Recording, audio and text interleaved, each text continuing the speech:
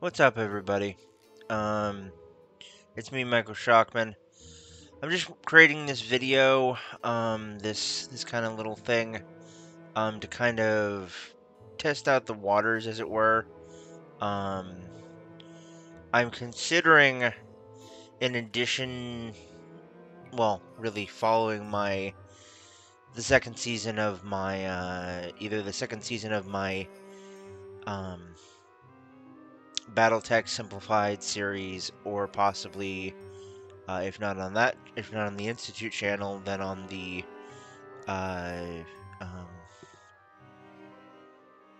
the regular DM Shockman channel, uh, doing a series on how to just a little foray, I guess it is. I guess it would be into my thoughts on D&D 5th edition and how to run it the way that I like to run it which is really kind of a not necessarily a low magic, but just more of a gritty kind of um, way. And the best way I can put it is taking Arthurian legend um, and putting it into uh, in that general kind of historical mythology type of thing, and uh, trying to convert it into D and D Fifth Edition um, without using like a um, a retro clone or something like that. So, um, let me know in the comments what you think.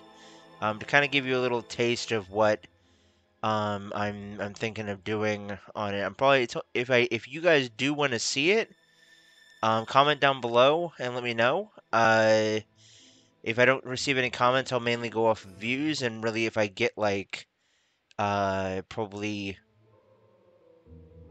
I'd say probably about 50 views on this and possibly uh, um, like 5 to 10 likes.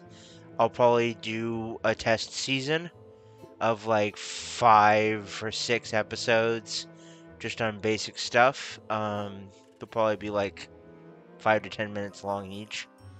Um, but to give you an idea of what kind of stuff I would cover, it would be things like how best to um, handle the different races in D&D, uh, how to how to how to basically reconcile the different races that are in D&D 5th edition um, with uh, um, with what would realistically be in an Arthurian type of world or something like along those lines, uh, and um, like how to how best to either limit or thematically and narratively alter the origins and appearances of various races uh, to fit that kind of world. Um, as well as things like uh, how to limit magic uh, and how to how to work around different magic, how to thematically and narratively um, flavor magic in such a way that it doesn't quite seem like it's over the top. Um, because Arthurian and otherwise and contemporary mythologies, while they're not low magic, they are technically a little bit less fantastical. So yeah, um, doing a little bit of a little bit of housekeeping on that is kind of necessary if you're wanting to keep it from going off the rails too quickly.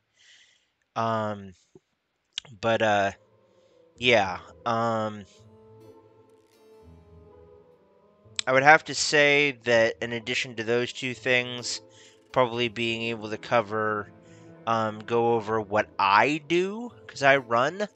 Um, I've run several campaigns now that I've written uh, myself in an Arthurian-esque world that I've created. Um, so I will probably give some in some insights into what I do and give you some ideas of um, how I do things, so maybe you can use it in your attempts to do so. Uh, everything from classes, magic, uh, leveling, what the ideal level um, to start is, what the ideal level for that kind of campaign is, uh, like the level range and everything like that. Um, in addition to things like uh, how to do magic items, what kind of magic items to do, um, what not to do, uh, various things regarding um, uh, if you're playing with a group that is a, whether you're playing with a group that's a little bit more beer and pretzels, or you're playing with a group that's a little bit more wanting to have more of a critical role type of uh, experience, or anything in between. In addition to the fact that a lot of the time these days there are a lot of groups that um, some people in these groups are okay with certain things in their games, uh, other people are not. So being able to always make sure cover the importance of getting consent and uh, staying away from the things that are not consented to by the group as a whole um, would probably be something I'd also cover. So considering that that type of world, um, not quite as much as some others, but it can lend itself to some pretty gnarly and uh, screwed up stuff. So it's really kind of a balancing act, and I would definitely want to be able to put my two cents in on how to how to try and handle that. Um, anyway, uh, this video has been going on now for a little over six minutes, so I'm gonna cut it off here. But um, let me know what you guys think down below. Uh, tell me what you think. Again, if I get like 50 views over, I'm gonna put this on. By the time you guys are seeing this, it's gonna be on both the DM Shockman YouTube channel as well as the DM Shockman Institute channel. Um, if over the, if within the next week I get uh, at least 50 views on it and also total get about 10 likes on it total, I will probably end up uh, um, doing a little test season to see what you guys think. Uh, and yeah, we'll go from there. Anyway, guys, thank you so much. Hope you guys are having a great day. I'm Michael Shockman. I've been your host and commentator. And until next time, until we see each other again soon, remember as always, keep it real, keep it safe, keep it healthy, and we'll see you guys again soon, hopefully, in Albion. Later, everybody.